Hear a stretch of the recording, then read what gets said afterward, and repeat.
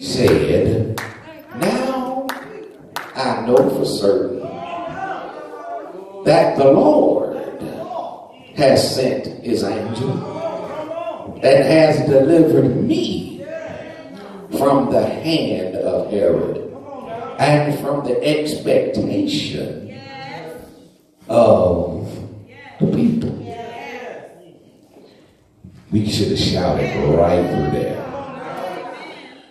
That's not my assignment.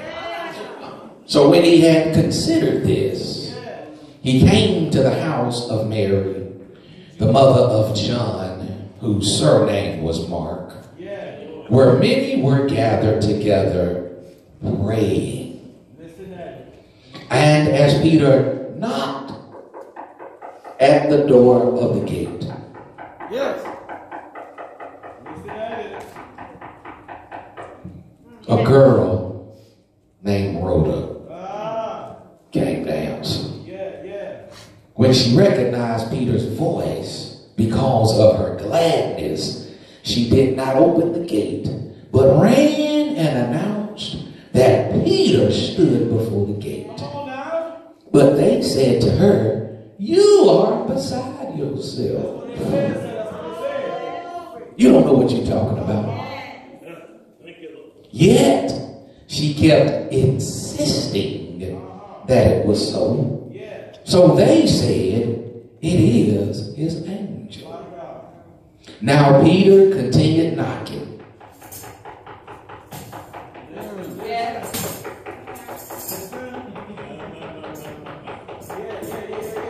And when they opened the door and saw him, Honest. Come on now. They were astonished. You may be seated. When they opened the door and saw him, they were astonished. And I want to preach with your prayers and God's power. Doubt your doubts Uh-huh. before you doubt your faith. Doubt your doubts before you doubt your faith. Um, I read something this week that got my attention. I want to pass it along to you. I read this sign and it says, Faith is like Wi Fi. Ah. It's invisible, Come on now. but it has the power to connect you to what you need. That's good stuff. Faith is like Wi Fi, but it's invisible, but it has the power to connect you to what you need. I want that to sink in. Sink in. Let that sink in because the times we living in now, most of us would lose our mind if we didn't have Wi-Fi. Mm. Um, I, I, I don't want to rush through it, but we don't have much time. Um, in 2008, in the state of Texas, um, it became a battleground for a holy war. It occurred in a town called Mount Vernon. And there is a place called Drummond's Bar. And Drummond's Bar began construction on a new building to increase their business. The local Baptist church started to complain, and they had a campaign to block the bar from opening with petitions and fasting and praying. They were concerned because the bar was growing, but the church wasn't. Come closer. And work progressed right up until the week before the opening when lightning struck the bar. And it burned to the ground. The church began to clap. They began to clap and they, they began to cheer. Watch this. But the shout went down because the bar owner sued the church. Now listen closely. Sued the church on the grounds that the church was ultimately responsible for the demise of the building. Come on now. Either through direct or indirect actions or means. The church The church of the church. Intensely denied all responsibility or any connection to the building's demise in its reply to the court. And as the case made its way to court, the judge looked over the paperwork. And at the hearing, it's a true story. At the hearing, here's what the judge said. I don't know how I'm going to decide this. But as it appears from the paperwork, Come on now. we have a bar owner who believes in the power of prayer and an entire church congregation that doesn't. Ah, I hear you. My God. And, and sometimes we claim to have faith, but we don't believe what we're praying for. And woe unto us if non believers believe in prayer more than we do. Many of us have watched a version of Dracula. And in most instances, a vampire goes through town terrorizing people and sucking the blood from their necks. But in one version that I was watching, the vampire stumbles into the sacred place called sanctuary. And he found a priest. And the priest pulls out his pectoral cross. And the vampire laughs at him. Well, well. And here's what the vampire said to the preacher It only works if you believe it. Oh, God. Yes, Lord. The vampire said it to the preacher. Watch what happened in the movie. And then the vampire proceeds to bite the neck of the priest, draining the blood from him. The one who had the cross, but he didn't believe in it. And I need us right in this moment to have enough faith and conviction that we can say with confidence, I will have victory in the name of Jesus. And you have to believe it with every fiber of your being. Some. Somehow, it's going to work out for me. I'm not just talking about prayer and faith, but I'm talking about the power that's in the cross. And you don't realize how many demonic entities are trying to drain you, that are trying to attack you. It won't work if you don't believe it yourself. But I just believe that there are some people that still believe in the wonder working power of Jesus. And when you just declare it out loud, it still works. Yes, I can't hear nobody. Shout it out loud. It still works. The blood that gives me strength from, from day to day, it'll never glory. Ooh, my, my. Uh, six people finished it. It'll never mm, lose. Glory be to God. Its power. Mm. Doubt, doubt can be intellectual, whereby we think about it. And after blow after blow, setback after setback, disappointment after disappointment. Some would start to doubt if things would ever get better. And if we're not careful, the enemy will make us even doubt ourselves. Mm. And slowly, without any warning or without a name tag, you look up and you have become overwhelmed with doubt. Mm. How did this happen? Because we have history with God. And you mean to tell me you still doubt him? So I need some believers who still hold on to faith and conviction, who can boldly say, You can't make me doubt it. Oh, I got some help. I, I know too much. I got some help about it. And that is why I love him so, because he's so, yes. Oh God, my church is waking up. He's real. He's real to me. And there are a few of us who know that I trust him uh, in spite of the evidence.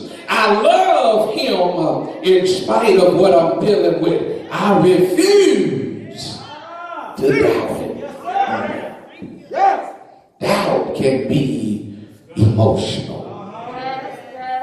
It can be emotional. Watch this because uh, you've been cheated on stay here. It can be emotional because you've been lied on.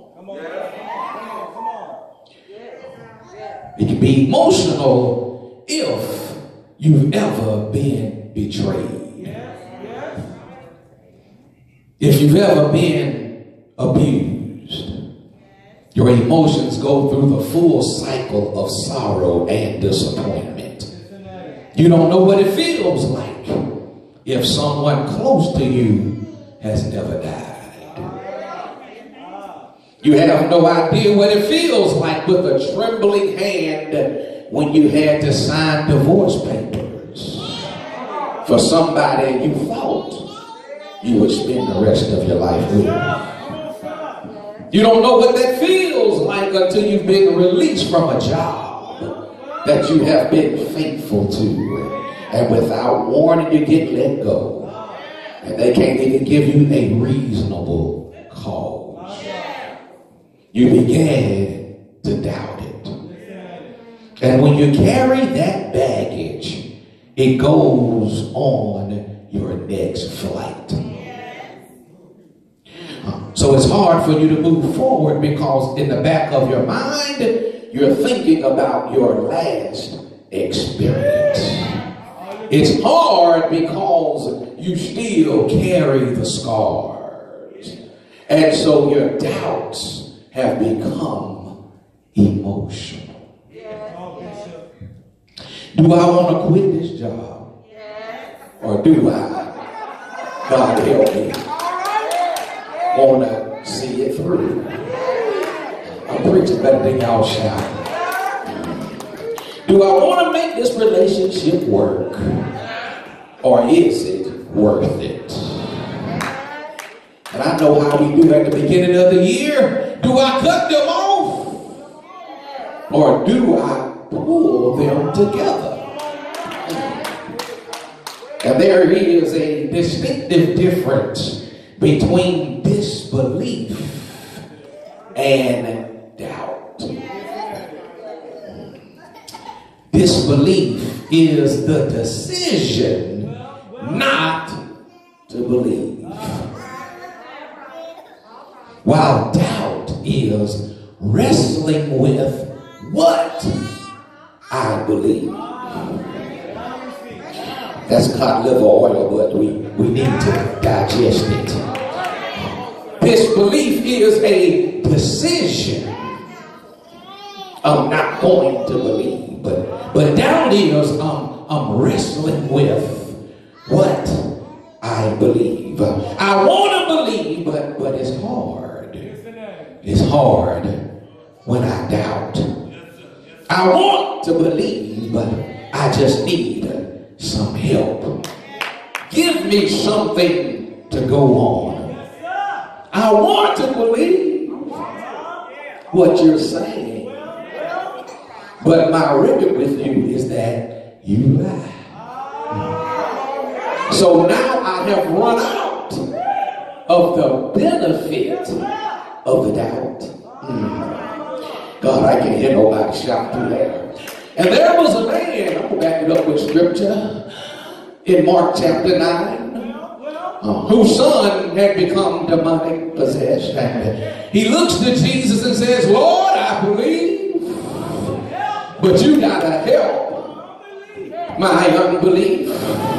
I got Bible readers, and I need you right where you are to shout out loud, Lord, help me believe. I need God to help me believe that the thing from Him that's hard to believe. And some of us need to have a transparent moment. God, if you help me believe it, then I can believe it. Lord, help me believe that you can heal every area of my body.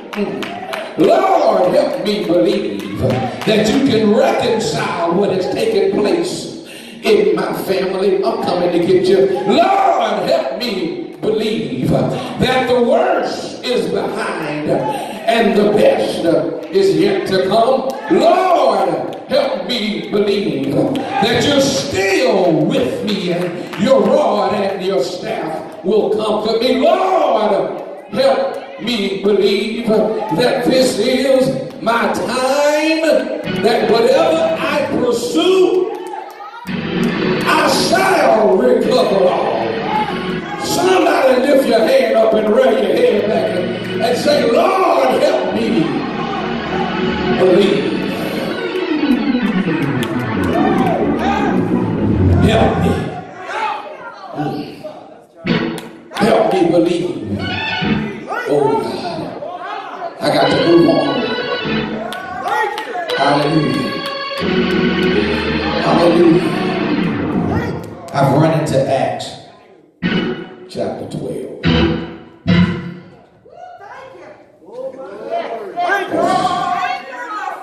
My God.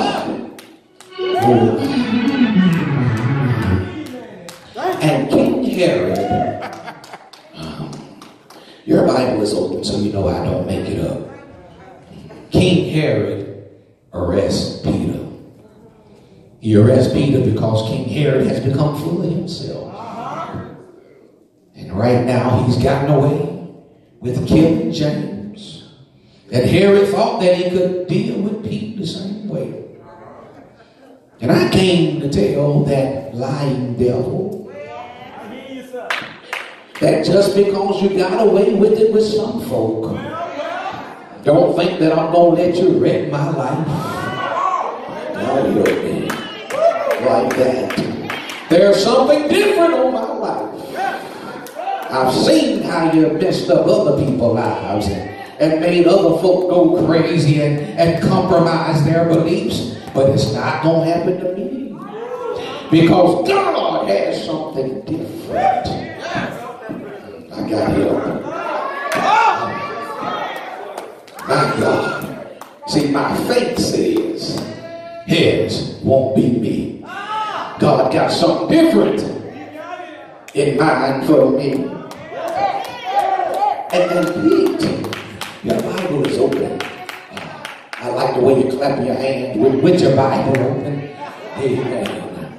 Slap your phone, high five your phone because you can't touch nobody else. High five your phone and say, God got something better for me. You got to be creative. Yeah. High five your phone and say, yeah, God got it. And Pete, Pete, Pete, Pete is arrested and put in prison with 16 soldiers. Pete is just one man, he has 16 different entities assigned to him to try to keep him bound. God help me here. And, he has 16 soldiers and he has chains on. And I need for us to understand that Satan has so much confidence in our ability to get to destiny. Because if he didn't think that you could do it, he wouldn't be piling so much stuff on you. And some of us really should have taken off running right through there. Why, Pastor? Because even the devils in hell know that I'm going to make it to my destiny. And if the devil believes it, then why don't you? But I came today to tell somebody, get ready to break out. Get ready to be healed. Get ready to be delivered. Get ready to see the goodness of the Lord in the land of the living. He's put into something with handcuffs. And not only does he have handcuffs, but he also has shackles. And he has 16 guards assigned to him. I'm in verse number 5 of Acts chapter 12 if you want to catch up with me. And while Peter is stuck in a jam, what happens, Pastor? The church starts praying. Oh, God. Yes, Lord. God be with us right through here. Because when we pray today, somebody that's wrapped up in something, oh God, something's getting ready to happen to give them uh, an early release. Somebody in your life, yes. Somebody in your family. Somebody in your house is tied up in something. But God says if I can find a church that will still believe in the power of prayer. And while we are connected today, somebody is going to get set free.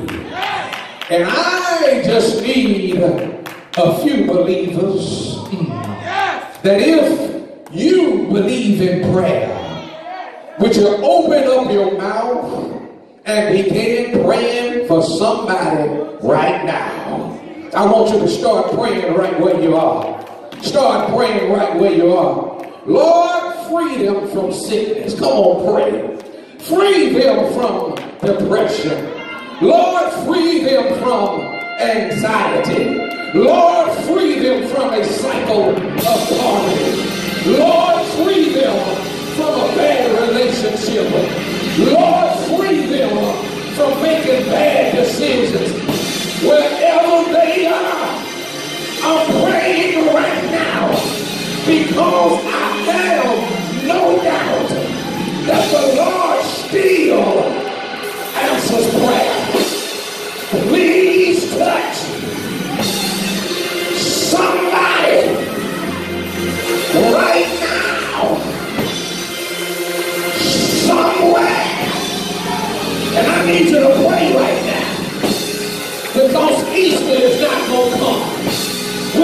still in bondage. I need you to pray right now like you have no doubt. Worship our God like you know that He's still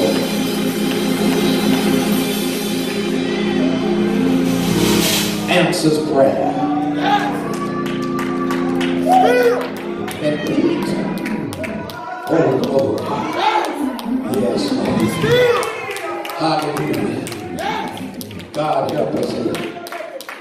here. Missed in verse number 11, where today you get free from other people's opinion.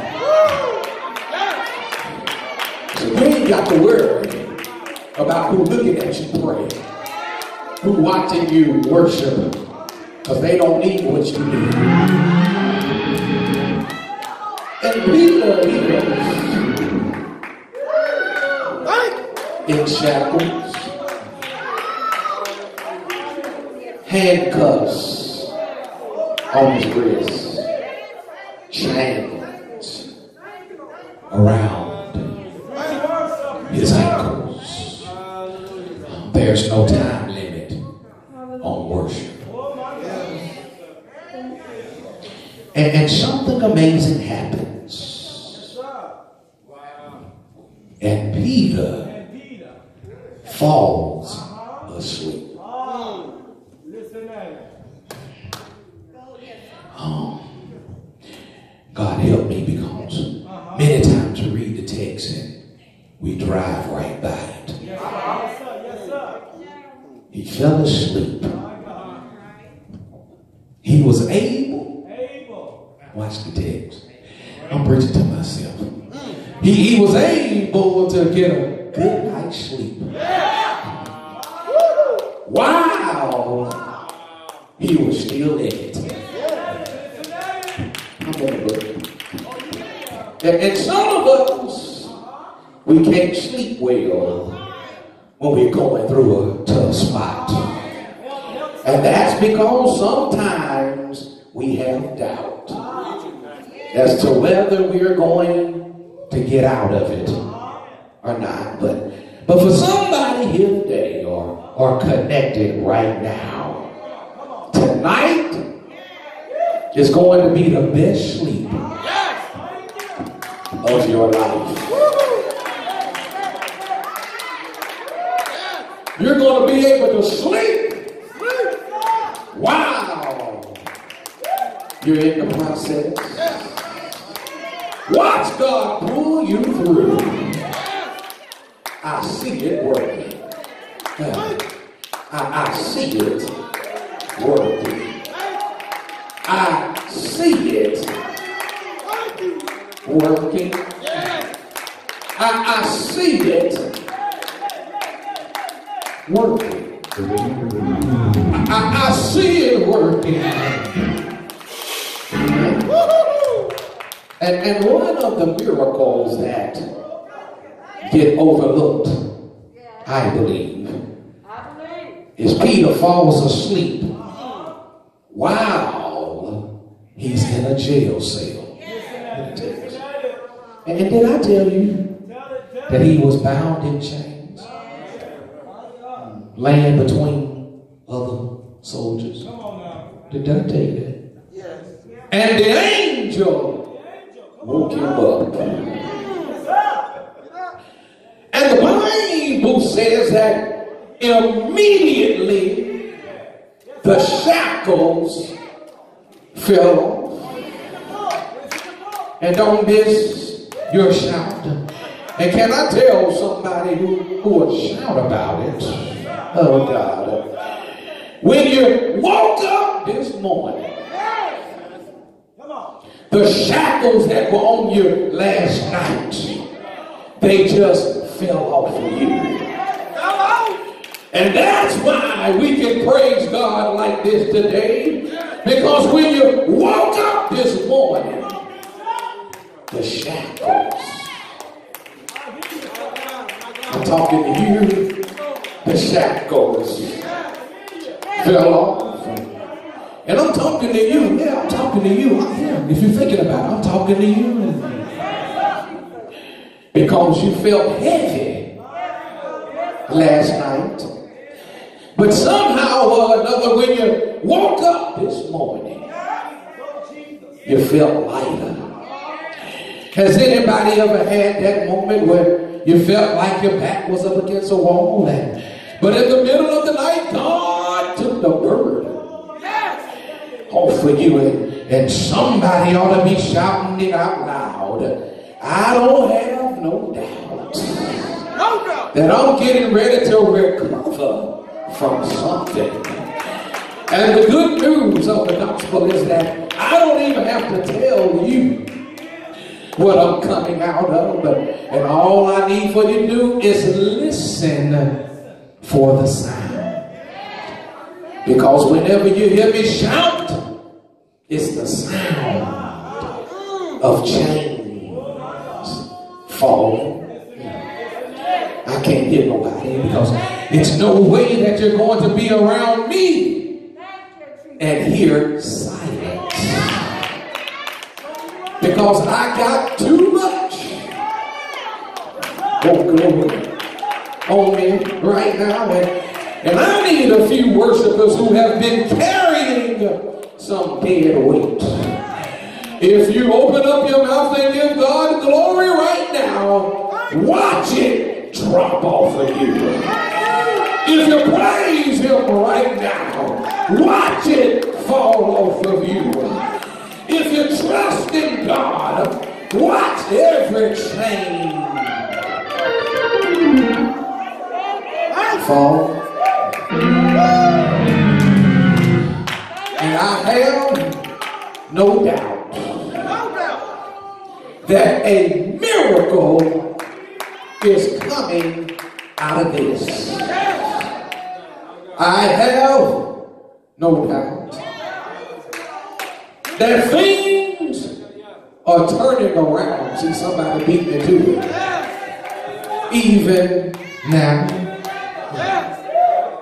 And I'm trying to get to my next point, but I have no doubt that God is making a way of escape for me.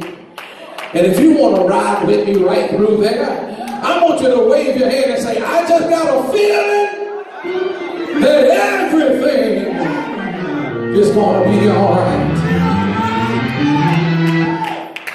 Oh, God. In Acts chapter 12, um, and Pete You preaching good, sir. comes out of it. Uh-huh. And he walks right out of that jail. And I feel something pushing us, Come on, come on. all of us, right through here. Thank you, Lord. And, and uh, he, he goes to John's mother's house. And he begins to knock. Walk the scripture, sir. Walk it, walk it. knock at the door. And I want you to see in the text, you got to know this. He knocks at the door, watch the text, where the saints are praying.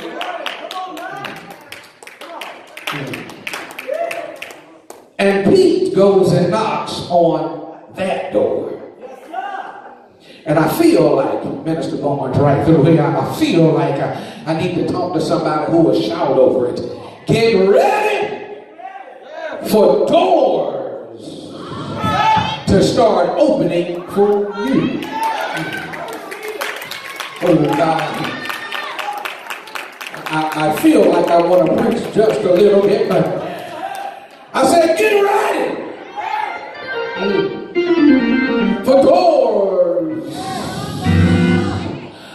to start opening for you.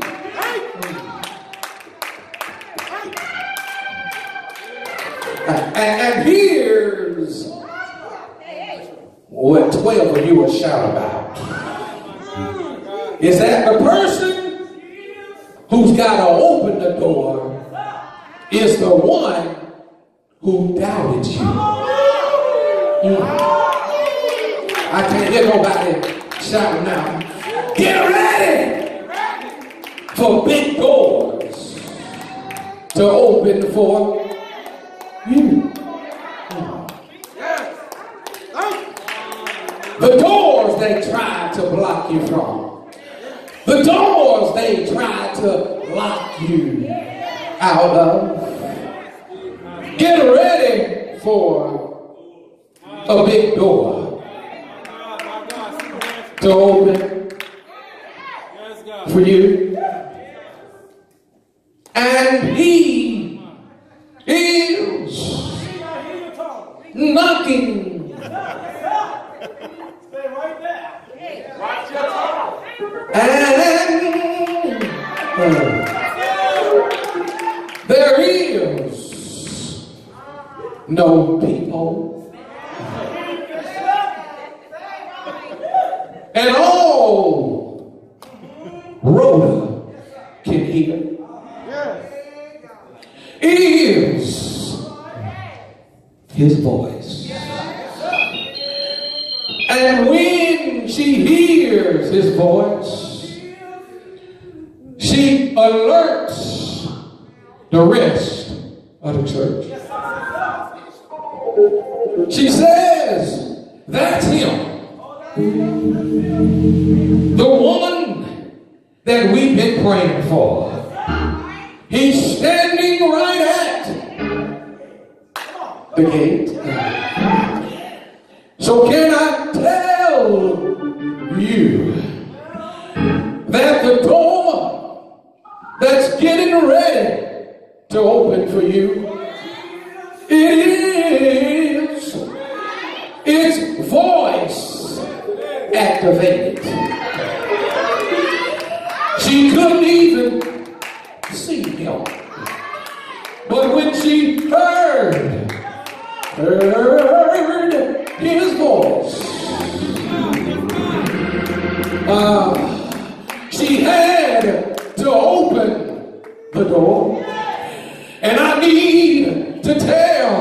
somebody if you're too tired to shout, you're going to stay on the other side of the door.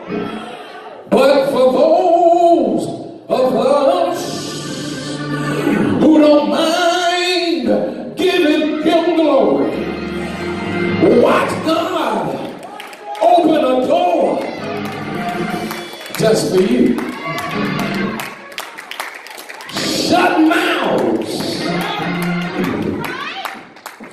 Doors shut.